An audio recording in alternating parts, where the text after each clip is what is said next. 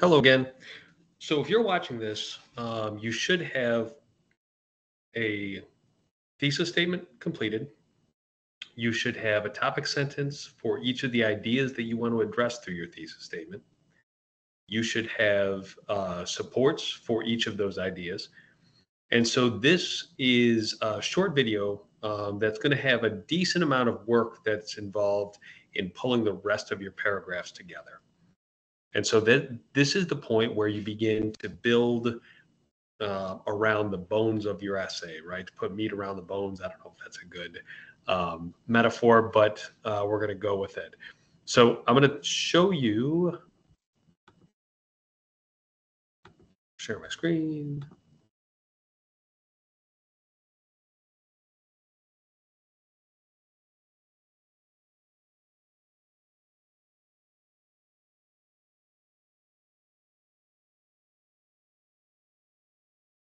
Okay.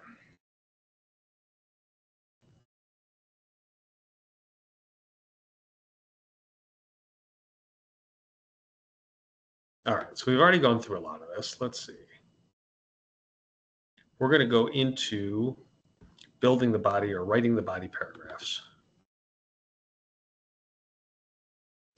And so when we take a look at um, what's involved with writing the body paragraphs, we already have a lot of this work done.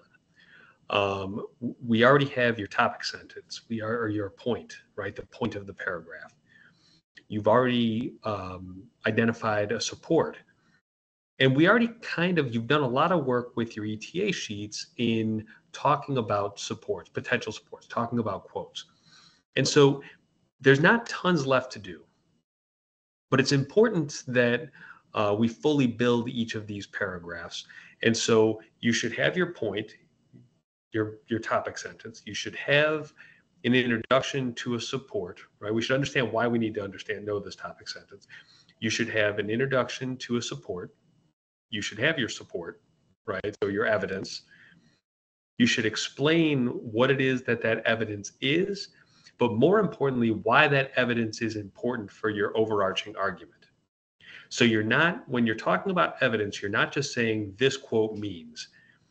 And I know for those of you that grew up in uh, New York State Regents uh, prep mode, a lot of times instructors would tell you to just explain what the quote means, right? And, and it turns into kind of like a translation. And that's not what we want here. What we want is we want to tie it back to the overarching ideas in your paper. And then by the end, you want to link it back to directly back to the main idea or to the next idea you're about to share. And so it makes those paragraphs feel cohesive.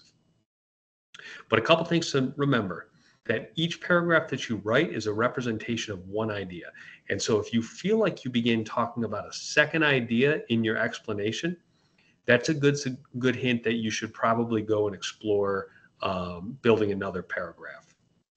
Those are things we do in revision. Um, but for now, stick to the peel method for each of these. And so I'm going to show you, I'll stop sharing this. And I am going to go back into our sandbox.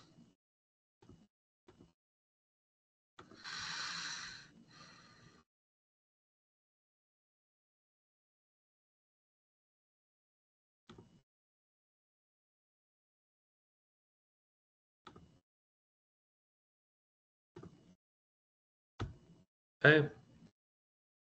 So um, we're looking at our sandbox and really what ended up happening, right, is for each of these, you already have your topic sentence, right? So this is point.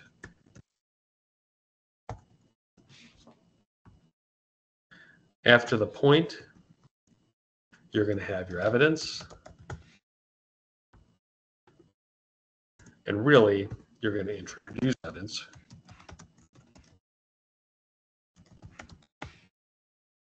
Then you're going to have your evidence. Then you're going to have your explanation. Then you're going to link back to thesis. And by the way, you might have multiple quotes that you want to use. You might have a lot of evidence for a specific idea right? And so if we're looking at these three, that means that for every single one of these, oops, for every single one of these topics that I've identified, and here's some evidence that I have here, but I'm just going to go like this. For every one of these topics I've identified, I'm going to go in and I'm going to do that exact same thing, right? I'm going to introduce my evidence. I'm going to cite my evidence. I'm going to explain why that evidence is important to my overarching thesis and then link back to the thesis or to my next idea. And so, I mean, even look, I've only built one of my paragraphs and my thesis and I framed out what the rest of this looks like. And by the way, this is really all you need to do for that um, for that outline that you completed. Um, but yeah, so th this is really it. And so I'm going to stop sharing and I'm going to leave this to you. And really, what I hope this is showing you is that if you did the ETA sheets, this is done, this is done for all of these. You did this at the beginning for all of these. Really, all we're doing is we're making sure that these are all on track.